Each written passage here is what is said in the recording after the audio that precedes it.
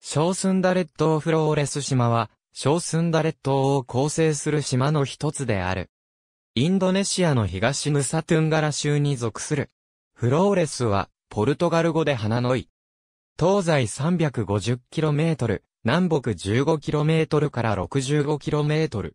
西には、コモド島、スンバワ島が、東には、アドナラ島、ロンブレン島などがある。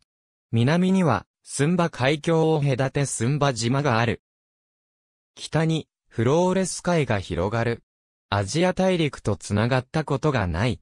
クリムトゥ山、エゴン山、エブロボ山、レオトビ山、レロボレン山、イリムダ山などの火山がある。島の西部には、コモドオオトカゲが生息している。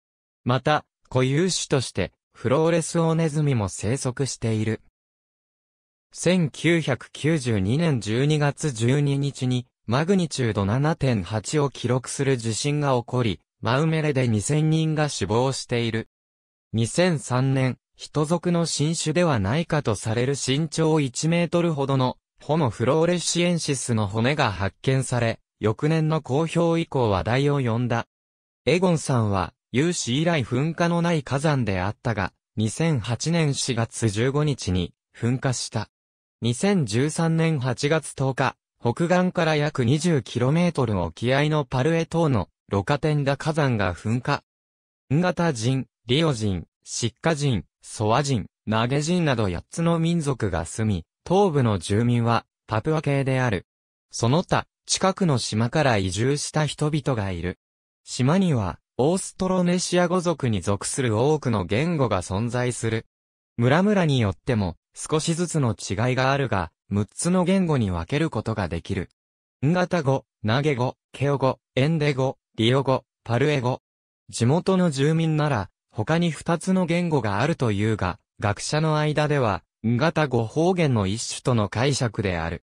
16世紀に、ポルトガルの宣教師と商人が島のララントゥカ、シッカに来たので、シッカの言葉に、その影響を見ることができる。宗教は、人口の8割がカトリックであるが、アニミズムも色濃く残っている。ソロール諸島は、東西に細長く10県に区分されている。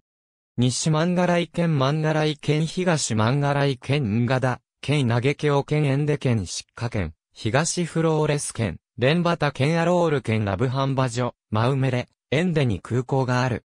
焼き畑農業で、オカボや、トウモロコシなどを生産する。